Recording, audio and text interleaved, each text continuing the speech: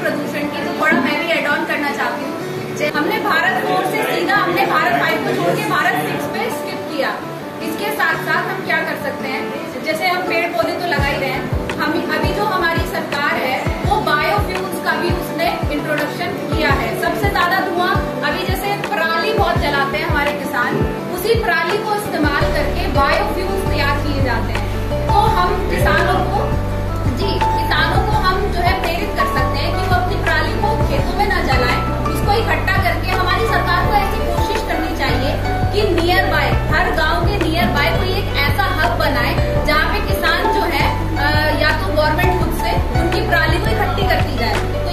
इससे उसको बायोफ्यूल में भी कन्वर्ट किया जा सकता है। प्लस हमारा प्रदूषण भी नहीं होगा और हमारे वो यूज़ में भी होगा। और जब वो डाइल्यूट हो जाता है तो प्रदूषण भी कम होता है बायोफ्यूल से। उसके साथ हम सीएनजी यूज़ कर रहे हैं। हालाँकि सीएनजी जो है काफ़ी एक्सपेंसिव होती जा रही है और नियर फ्यूचर क्योंकि ये एग्जॉस्टेबल है तो हमें इस तरह की सोर्सेज में रिलायबल होना चाहिए, जो कि हम रिन्यूएबल हो। अब जैसे कि इलेक्ट्रिक व्हीकल में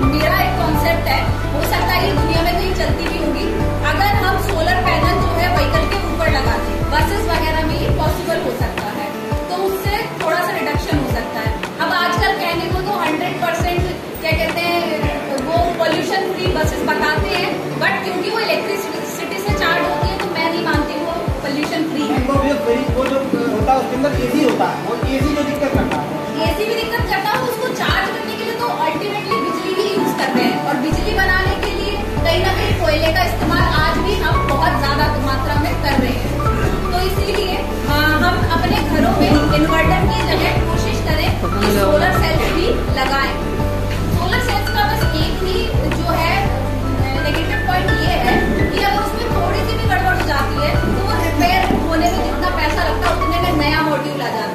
ये उसका एक बैकड्रॉप है, जिसकी वजह से लोग कहीं ना कहीं उसे अवॉइड करते हैं, क्योंकि उसकी कॉस्ट जो है इनिशियल बहुत हाई होती है। तो ये है बाकी तो पेड़ पौधे हम अपने विद्यालय से ही शुरू कर सकते हैं, अपने बच्चों को ही एनवायरमेंट के प्रति जो है सजग कर सकते हैं।